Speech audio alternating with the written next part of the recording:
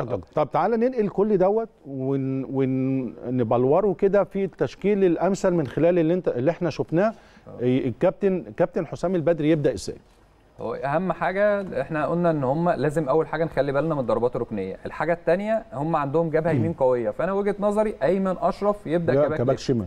دي رقم واحد. لازم أبدأ بايمن أشرف. الحاجة الثانية إن هم عندهم نقطة ضعف واضحة كذا نقطة ضعف. اولا حارس المرمى بتاعهم ضعيف يبقى أنا لازم أعتمد على التسديدات. تسديد من بره ال الحاجة 18 الثانية لازم ألعب بلعيب 10 عشان يستغل المساحة اللي ورا الاثنين اللي طب ناخدها ناخدها ناخدها كده من كتشكيل. آه أول حاجة في كتشكيل. حراسة المرمى محمد الشناوي لا خلاف عليه هو. الحارس الأفضل في مصر يعني أوكي. محمد الشناوي. الاثنين المساكين أحمد حجازي والونش. طيب أحمد حجازي ناحية اليمين والونش ناحية الشمال آه. يعني على عدلة الونش. لأن أنت لو ما بتتكلم على ناحية الشمال يبقى عندك أيمن أشرف لو قلنا أيمن أشرف آه، ممكن يكون سرعات الونش أكتر سرعة شوية من حجازي فممكن حتى الطرف اليمين لو عدى من أيمن يبقى فيه يبقى الونش تغطية. بيرحل عليه والونش كمان بيمر بحالة كويسة جدا. بدنياً وثنائية حجازي ومحمود علاء الاثنين شبه بعض شوية. صحيح. صحيح. يعني تحس إن الاثنين شبه style. واحد. آه. فأنت محتاج مدافع مختلف عنهم شوية. أنا متفق معاك. يبقى بنتكلم على محمد محمد هاني الشناوي ومحمد محمد هاني، هاني وأحمد حجازي والونش وأيمن أشرف. طيب نيجي للوسط المدافع. الارتكاز. آه، عمرو السولية لازم يكون أساسي ليه؟ لأن طارق حامد والنني فيهم نفس النوعية شوية. شبه بعض. إن هي حتة قطع الكرات حتى النني مع الأرسنال بيقوم بالحتة دي.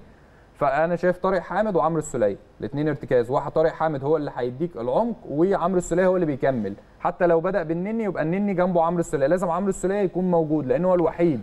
يعني ده. آه أنا أنا لو هتعمل لو هتعمل دبل أو هتعمل اثنين مختلفين ثنائي، آه. أعتقد ال- الأقرب طبعا طارق حامد والسوليه آه طارق آه. وع- وعمرو لأن عمرو بيزيد بشكل كويس وعمرو بيمر بفترة كويسة جدا. ما بيعرفش. يعمل ستة كويس يعني آه. النني آه حتى بنشوف في الأرسنال بدأ يزيد ويخش و... بس هي خطورة الفرقة دي مش قوي مش يعني قوي، فممكن ممكن توقف برضه شوية. النني حتة التمريرات عنده كويسة أوكي. جدا أوكي. فطارق حامد وعمرو السوليه قدام محمد مجدي قفشة محمد صلاح, صلاح تريزيجيه مصطفى محمد. مصطفى محمد آه، مش آه، مش أحمد حسن كوكا آه، مصطفى محمد برضو بيمر بفترة كويسة هداف عنده خطورة ال- العرضيات دي ماشي بشكل كويس.